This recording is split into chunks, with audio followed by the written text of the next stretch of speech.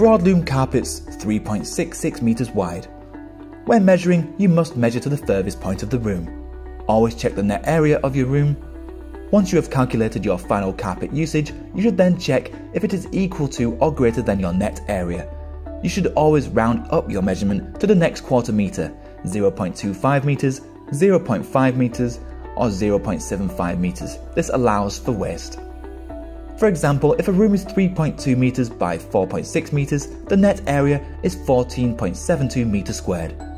When you have a 3.66 meter carpet in this room, the calculations are relatively simple.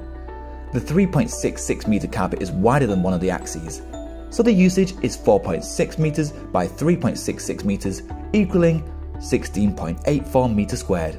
Let's confirm if this is greater than the net area above the usage is greater than your net area, so you'll be purchasing 16.84 meters squared or 4.6 linear meters of carpet. Let's look at an example for a room where both axes are greater than the 3.66 meters. If a room is 3.7 meters by 4.7 meters, the net area is 17.39 meters squared. When you have a 3.66 meter carpet in this room, the calculations are different as both axes are greater than the width of the carpet. That means you will have to have a joint in the carpet. It is important to know that when you join a carpet, both joints must be installed in the same direction. Please have a look at the carpet split table for ease of reference. With the table in hand it is easy to work out the remaining cuts. Cut 1 is 3.7 meters by 3.66 meters wide.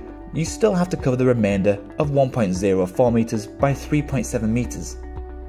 You can see the 1.04 meters is between 0.915 and the 1.22 meters on the table, so you will have to divide the remaining distance by 3. Cut number 1 is 3.7 meters, rounded up to 3.75 meters. Cut number 2 is 1.23 meters, rounded up to 1.25 meters.